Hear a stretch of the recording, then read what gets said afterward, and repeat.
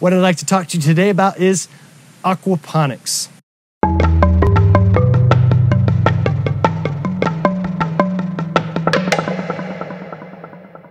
We came here to this location and we had a koi fish pond. With this koi fish pond, we wanted to utilize the resources that it produces, the fish waste. We took a pump, we pumped it up to this series of bamboo tubes, and we beat it through and return it right back into the fish pond.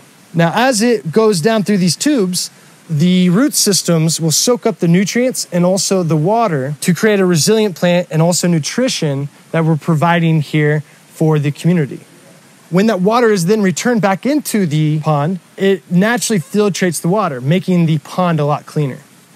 This is one of the many sustainable concepts that we're doing here at the Nyx.